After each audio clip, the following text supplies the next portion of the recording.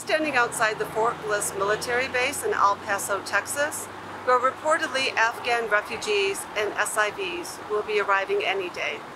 Amnesty International is calling on the White House to urgently evacuate at-risk Afghans and to stay until the job is done.